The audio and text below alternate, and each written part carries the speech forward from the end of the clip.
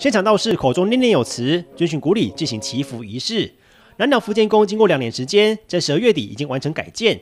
庙方为此选在良辰吉时举办安农谢土仪式，包含地方代表以及上百信众都前往见证。公交勿顺，公泰平安，三拜，请归。福建宫是咱本地吼，咱公庙大家公家的，啊，就是有钱的出钱，有力的出力。把这个增建这个过程哦，给完成。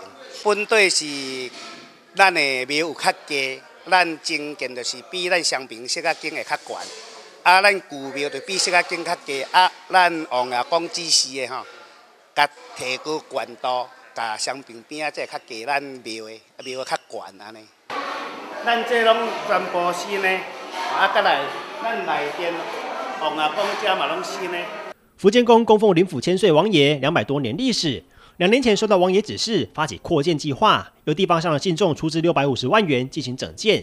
像是眼前全新的大理石墙面，原本都是斑驳的泥土墙，还有神像背后的图腾也变成精美的雕刻。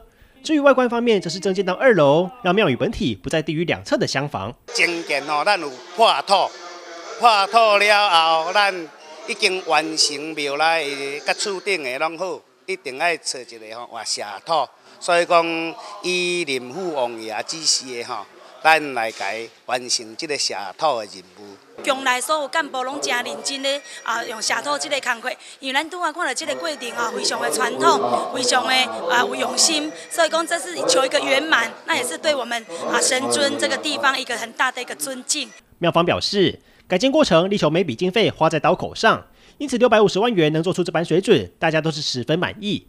希望借由这天仪式，向神明祈求，未来持续保佑地方风调雨顺。记者洪家宏，他就撤了。